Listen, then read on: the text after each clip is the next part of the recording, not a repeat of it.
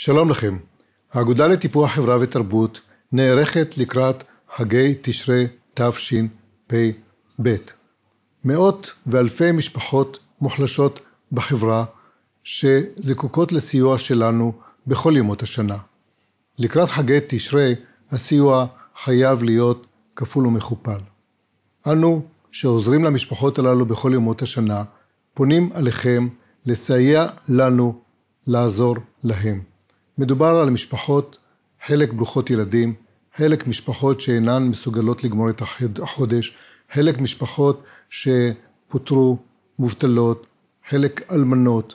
כל המשפחות הללו גרות בערים, ביישובים, ברחבי הארץ.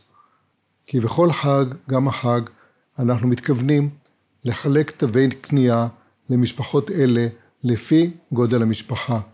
המינימום הוא 400 שקל עד בערך 1,000 שקל לכל משפחה.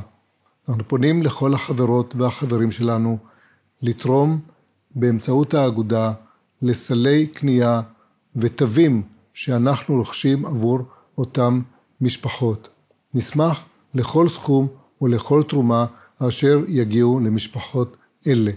אני מודה לכם בשם כל אותן משפחות, בשם חברי האגודה, כך שכולנו נשתתף במצווה הזאת לקראת חגי תשרי ונאפשר להם לחוג את החג כראוי. תודה רבה ושתהיה לכולנו שנה טובה.